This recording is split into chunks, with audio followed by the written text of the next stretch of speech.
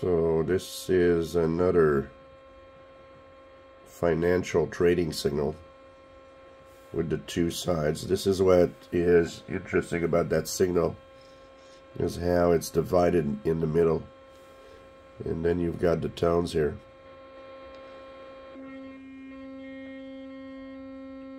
There's kind of a center point.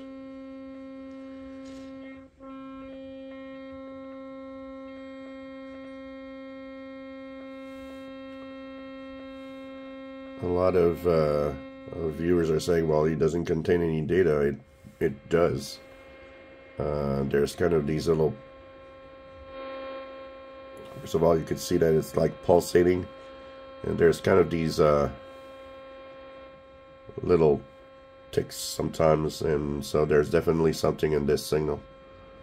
I wonder what type of, uh, of digital modulation it's using, but it's interesting. So I spanned here a little more because I wanted to see the signal closer here spanning. So it's typical roughly 40 kilohertz wide. And uh, this one is centered around 16070 at uh, 1815 UTC. So it's all over the place. So you can find them at different frequencies during the day. They sometimes pop up stay there for like, you know, 20 minutes, disappear. Sometimes they stay there for an hour or two. Um, I don't know what decides what frequency they're using, but uh, look at what they look like with a very small span.